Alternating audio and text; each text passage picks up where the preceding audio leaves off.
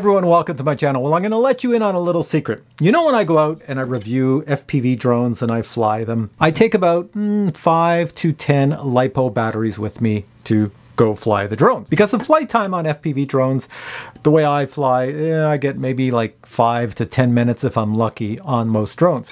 So for that reason, over in that corner, there's a whole pile of battery chargers because I have to charge up so many batteries really fast all at once. So by having a lot of battery chargers, I can get away with it. This video is all about a battery charger that will charge up two batteries at once. So this one I'm going to show you today was sent to me by Toolkit RC. They also gave me the little stickers up top, which I've placed on a lot of things I own. And this is the M6DAC. The reason they call it AC is because you can plug it into the wall and use your AC power at home, or you can use DC power out in the field. Now this charger is similar, well, almost identical to one that I reviewed several months ago called the M6D Dual. That's a little pocket charger, very small, fits in your pocket. You take it to the field, and if you have a big battery, you can use that big battery to charge up all your LiPos in the field. So in other words, say I got a call at the last minute, had to go flying, I could take that little tiny charger with me, go to the field, bring one big battery that's charged, and while I'm flying this, that big battery will charge up the smaller batteries that fit on the FPV drone. This one will do exactly the same thing if you wanted to because it has that ability in the back. So it's, um, yeah, it's the best of all worlds type battery charger. It's full featured as well. So what I'm going to do in this video is just do a review of this charger as if I was you in other words, I bought some LiPo batteries because I have a new drone or I have new LiPo batteries and I got to charge them up and get going and get flying. So uh, here we go. Check it out. Here we have our M6DAC. It's never been opened. And here I have two six cell batteries and one four cell battery, all brand new. So I'm going to treat this tiny, tiny review as if I just bought a charger and bought some new batteries and I want to charge them up. So here we go. Super quick unboxing. Let's open the box, see what you get inside. Hey, it says Captain Drone right here. I stuck that on. That's because Toolkit RC sent me these stickers. But honestly, I haven't taken this out of the box other than to put a sticker on the top. So let's take this out and see what we get. So we have our charger. I'll get to that in a second. Let's see what's in this box.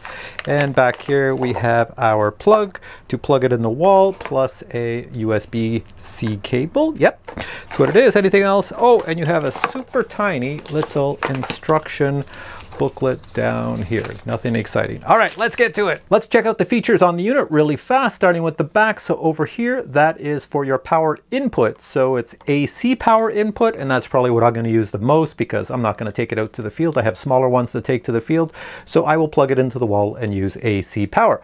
If I took it to the field and had no AC power, then I have a DC input. I could power it with another battery or my car battery or something else. Up here is a USB-C out, and that's why they give you this little thing. And it is very smart because whatever you plug in, it understands what it is and it knows what voltage it requires and will regulate the voltage and send exactly the voltage in watts and amps or whatever that is required for your USB device. And you can actually see it at the top here, what's coming out. So enough about the back, go to the side. That's just where air gets sucked in. To cool it, go through and then it comes out here. There's a fan that's going to blow it out. It's going to get warm because if you discharge a battery or whatever, has to convert that power to heat and the heat comes out here. And nothing on the bottom really, just more venting. And on the front, you can see, let me bring this close, XT60 connector here with an LED light to show you it's connected. Over here, another XT60 connector with an LED light balance port, balance port, and over here is something you're never going to use unless you buy the accessory. That's a something for heat detection. So the front looks like nothing because we haven't turned it on, but let me just tell you the buttons here. You have a scroll wheel that you can scroll through the menus and push to get something else like an OK button on a mouse. And up here you have your back button and channel selector button. All right, so let's uh, get this all ready and plug it in and let me show you really quick. AC power, where are you on the back? Plug it in and let's see what happens to this baby. There we go. Oh, the fan starts up and we're gonna get our first display. Ta-da! Next, let's take one of these boxes here, the 6S battery boxes, and uh, yank out a battery. There we go, brand new battery 6S. We're gonna use this and charge this one up. So let me plop that down there. Take another 6S battery here. You know, that's not the way to open these boxes, but that's the way I open them. And we have our second one here. All right, So brand new, let's uh, see what the voltage is on these as well as charge them up. Here we go. Both batteries are 1300 milliamp hour batteries. They are pretty much the highest quality you can get in an RC battery, LiPo battery, super, super powerful. And uh, out of the factory, let's see what they send them to me, what voltage, Let's check this out. So you take your XT60 plug, punch it in the front and then take your little balance cable here and plug it in right there. All right, looking at my screen, I have both batteries plugged in so you can see one XT60 over here and a balance plug goes to this screen a balance plug in an XT60 goes to this screen. So let's start with the left-hand screen. I can see here, looking over here, that the battery out of the box is 22.85 volts. But more importantly, I want to look at the cells. There's six cells, and here are the cells. When the cells reach 4.2 volts, they are fully charged. So you can see they are not fully charged, 3.8, 3.8, and they're all very close. So for shipping to me, uh, these, this battery is actually really good. Let's look at the next one. They all come out of the same company. And look at that, they're almost identical, 22.87 volts. And check out each cell, six cells almost identical. Really, really good. Now, something really cool on this charger is say you had a battery that was giving you problems and you want to see if your battery is still good. All you do is you hold down this button here, watch, and watch, watch what happens. It's going to check this battery. It's checking it, and it's going to show me the resistance of each of the cells right here. So there's my resistance in ohms. So I got 6 ohms, 7 ohms, 9 ohms, 5, 5, 7. Uh, so basically, all these numbers are close together, so this one is actually quite good. And if I want to jump over and check battery number two, you just press this button. It switches to battery two, same thing, hold it down. Let's check to see if it's just as good. And here it comes up in a second. It's checking them out. What's the resistance? 6667767. So this one here is really good. This one's got a 9 over here, which is a little bit off, but still, I'm sure after I charge it up, it'll be great. So let's do that next, how to charge up these batteries. Okay, so we're going to go back to battery number one. Click this. We're back in battery one. Press this down. And now we're in our menu to do what we want to do. So it says up here, hopefully you can read that, it says battery type is LiPo, that is correct. How many cells are in the battery? Well, it's a smart charger, I have it on auto, it figures it out. Say I was a newbie and I didn't know, just leave it on auto, it figured it out. Which mode do you want to use? Well, I do want to charge, because that's the most common thing everybody does with a charger. You only have pretty much three modes, let me just show you here. If I go to mode, click this. Look, I have uh, charge, discharge, and storage. So let me explain them right now, because I'm going to keep this video short. Charge is what you want to do to charge up your batteries to a certain voltage, usually fully charged, so that you can go out and use them.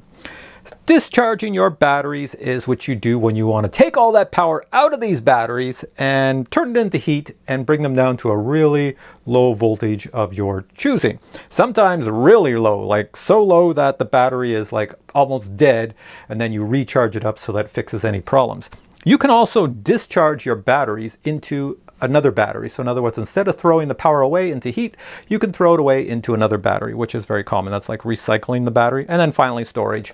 If you're not going to use your batteries for a long period of time, you just go down to storage, everything's on auto, hit enter, and it puts them into storage mode and you can put them safely away on your shelf and they won't catch fire and burn your house down. But for this demo, let me just show you charge.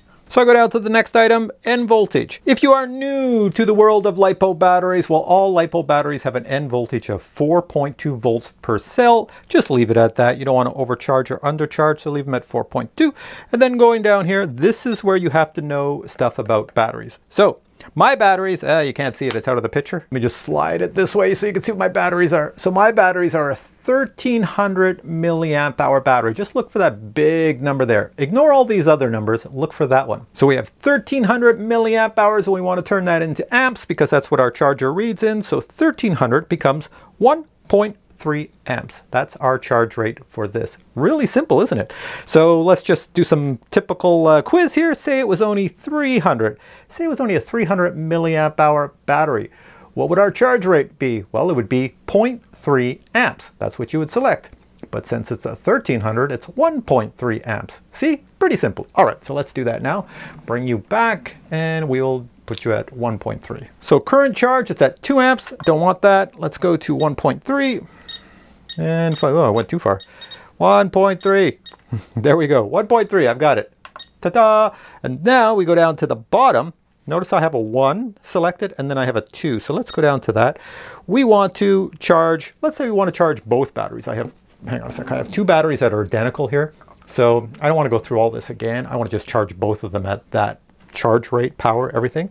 So let's select both of these. And we go over to the number two, press that, and it's selected when they're both white in color. They're both selected. Go over to start, hit start, and it says, hey, do you want to charge both batteries at uh, charge one to 25 volts? Yes. Charge two to 25 volts. Hit OK. Yes. There we go, and the fan comes on because it takes a heck of a lot of power to charge these. So looking right here, that's our voltage of the battery. Voltage of the battery. Down here, we said 1.3 amps, so it's going to punch in 1.3 amps, 1.3 amps. This number is going to get smaller and smaller as it almost becomes completely fully charged. And then you go down here, you can see each cell is receiving power. See how they're flicking on and off. And when each of those cells becomes 4.2 volts, this thing is entirely fully charged and it will beep at you and tell you, hey, I'm entirely fully charged. Go out and have fun with your batteries. And if you look at the top of the screen going on the right hand side, you can see the little fan icon is turning and this is the temperature of this here unit going across. This is for your USB. I'm not doing anything with the USB at the moment, so it's always going to be at zero. And then over here, it shows what it's regulating the voltage coming in, 24 volts. So this is my AC power up here. Can you see it? That's my AC power coming in. It's not using 120 volts. It's converted it to 24 volts. And over here, it's showing how many watts, 2.1 watts is what it's consuming. And the cool thing I like on these battery chargers right here, that's your progress bar. So that you can look at this progress bar right here and you can see the percentage to completion right there. So this will be completed when that bar gets over here, over here, and we're all good. Say you're charging this and you want to speed it up and go faster, you can speed it up and go faster. So you select which battery you want. So let me go over and select this battery. I think I have that one selected. Press this button, and then we can do some other little things. Current is at 1.3. I go, it's taking too long. I'm just going to bump it up to, let's go to about 1.7. There we go. And then we go back and now it should bump up to 1.7. There we go. Oh, I did this battery. Sorry, I thought it was on that one. So this one here is going to go up to 1.7. So this one will charge up faster than this one. Okay, next thing I'm going to show you really quick is if you want to change some of the parameters, the settings, this is how you do it. So to, in order to get into settings, I have to stop this. So I'm just going to press this and go over here to stop all. There we go. They shut off. Now I'm going to hold this down. And there we are into settings. So you have input settings and you can see these little down arrows. If I press that, there's my input settings. So if I go and use DC power over here, like plug it in up here with DC power, well, then I would change the input setting to DC power vice the AC power I have up here. It has a really cool thing here, synchronous mode. Synchronous mode is when you want to run two cables off into one battery. So you're gonna get max amps, max watts, and you can charge up a massive size battery really quick. Continuous work, I'll explain that that really quick, whereas my fingers at continuous work, if I had bought, I don't know, say I bought a hundred of these batteries and I wanted to charge them one after another after another.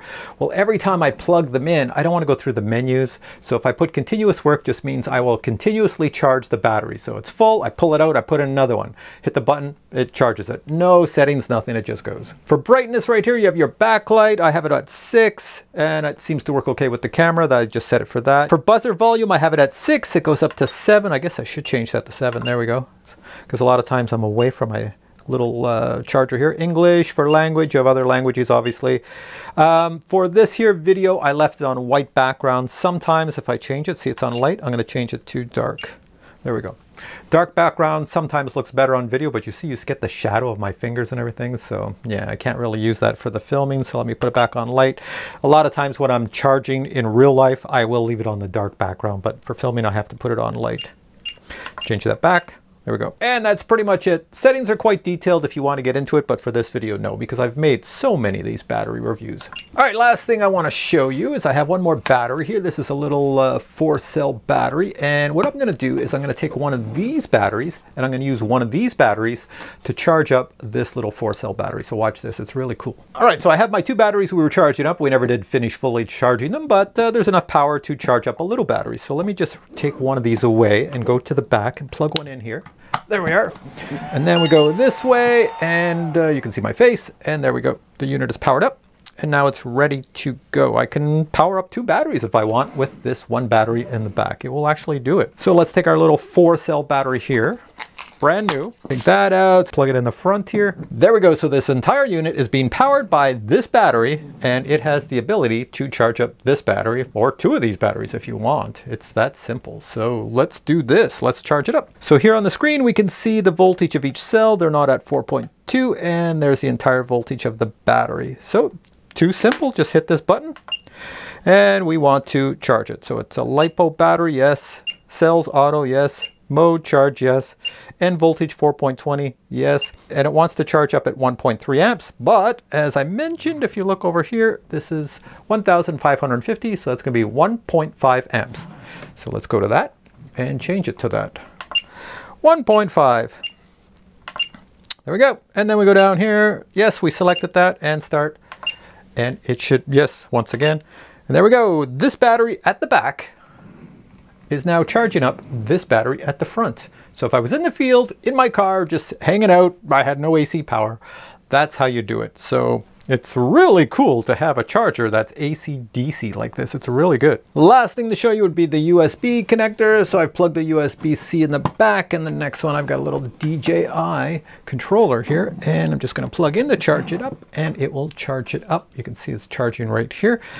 Looks like it's fully charged. I guess I didn't have to really charge it too much. Or maybe it's not. Anyways, let's look on the front and see what this says. Here we go. If we look on the front, this little section is for USB. So we see 5.1 volts at 0.6 amps is what is being drawn out of this baby into this DJI device to charge it up and it regulates it automatically on this system. All right, so there you have it. If you want to buy this battery charger because you think it's for you, it's pretty good.